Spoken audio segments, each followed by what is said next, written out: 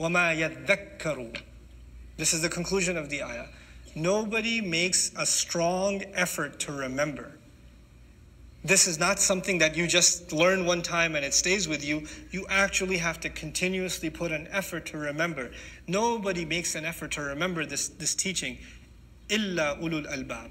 Nobody makes that effort except the people of the soundest minds. And so I'll say two comments about sound minds because we have 20 minutes before Salah. This should take me five minutes and we're done for the day. Al-lub. Lub in the Arabic language uh, means uh, the essence of something, the core of something, okay, the heart of something. You know how in English literature you say, what's the heart of the matter? You know, or what's the essence of what you're saying? You know, get to the point, the point of something. Similarly, those of you that speak Urdu, baat ka lubbe lubab kya hai? It comes from the same Arabic origin, lub. The word labib in Arabic is used for a wise person, a smart person, a, a person who can take a hint. Inna labiba min al isharati yafhamu. This is the Arabic equivalent for a wise person can take a hint.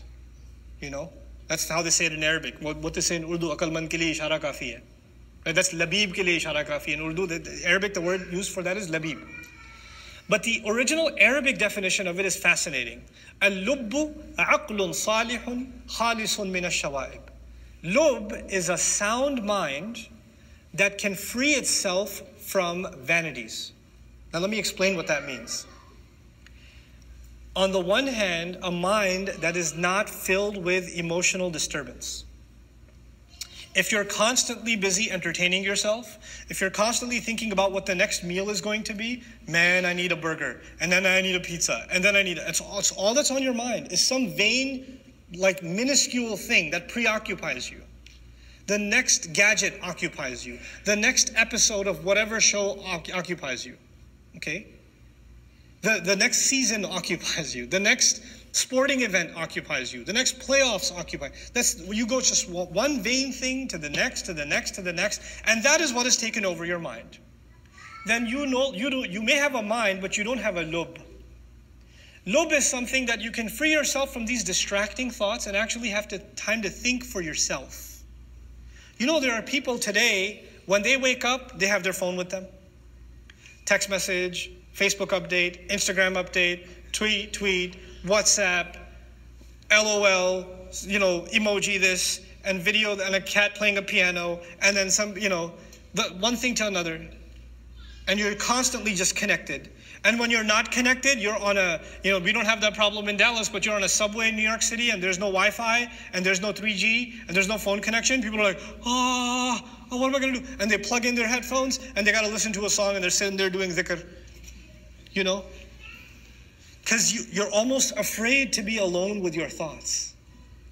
You're almost afraid. And th- those people who, who are not into gadgets, they'll just buy novels and they're sitting there reading a story, immersed in the story, right? You're, you constantly have to plug your mind into something. Who anymore has the time to do what Allah said when He says, أَفَلَا يَنظُرُونَ إِلَى الْإِبِلِ كَيْفَ خُلِقَتْ وَإِلَى السَّمَاءِ كَيْفَ رُفِعَتْ وَإِلَى الْجِبَالِ كَيْفَ نُصِبَتْ Didn't they look at the camel, how marvelously it was created? Or didn't they ever look at the sky? Okay, fine, I'll watch a video of the sky. No, look at the sky. Go think about the sky and just marvel at this creation. Go, go to, you know, Texas has some of the best night sky, you know, where you can see the starry night. Go and just, just quiet and ponder. Just think. Just reflect. Because that is an essential necessity of a human being to remain a person of lub. The time to think for yourself, to unplug, to not be around people to not be chatting about one thing or another, just to be with your thoughts and reflect and ponder. Just that. We no longer have time for that. We don't have to, time to think about what is it that I'm going to show Allah. I have a few years left here, maybe a, maybe a month, maybe a, a year, maybe 10 years. How long do I have left on this planet? I'm going to meet Allah pretty soon, whether I think about it or not. You are on a conveyor belt to your God, whether you like it or not, and you're going to meet Him. You're marching towards your master, whether you like it or not. You can have your head this way, the belt is going that way, buddy. You know, you can close your eyes, you're still moving. You and I are heading to meet Allah. You can ignore it. You can pretend it's not there. You can just start a new show and watch its 50 episodes. You could do that, or you could take a break and say, I'm, I'm just going to think. What am I going to do? What is my life going to mean? What good am I leaving behind? What seed have I planted that will turn into 700 and 700 and 700? What khair am I leaving behind? This requires a person to actually seek wisdom, to seek truth, to contemplate and reflect.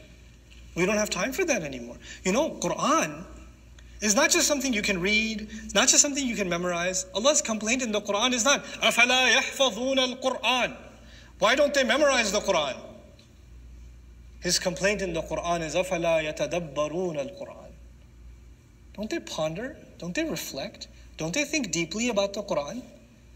Nobody's going to do that for you. I'm trying to help you. I'm trying to help myself do some of that myself. I'm trying to encourage you to do that yourself. You should see myself and others that are trying to teach something from the Quran as a means to a much bigger end. That end is your personal connection with Allah and reflection. Your personal recitation of the Quran and you poring over the Quran because the ultimate wisdom is Quran. And I would read into this ayah, يُؤْتِ الْحِكْمَةَ مَنْ يَشَاءُ He gives the ultimate wisdom to whoever he wants. He gives the Quran to whoever he wants. And whoever has that ultimate wisdom has been given no, no greater good than this book.